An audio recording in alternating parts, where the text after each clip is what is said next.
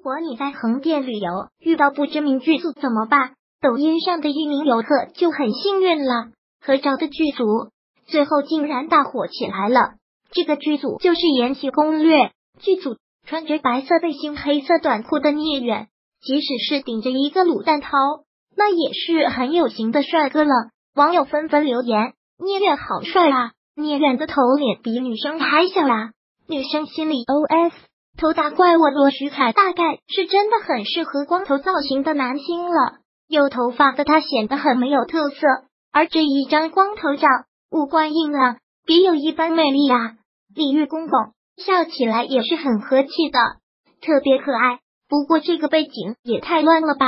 剧组当时看起来很穷的样子，虽然说尔晴的人设很讨人厌，但是也不得不说，剧外的他还是比较好看的，特别是那小手臂，这也太细了吧！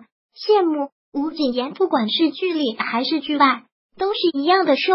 不过这张和素颜的合照中，感觉吴谨言输了，脸是很瘦没错，但是看起来比马脸还长呢。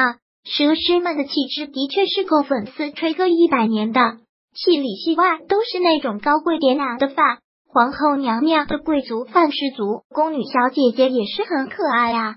不过就是有点拘谨的样子。看旁边的两个游客。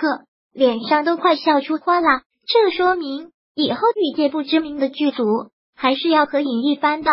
万一这部剧就火了呢？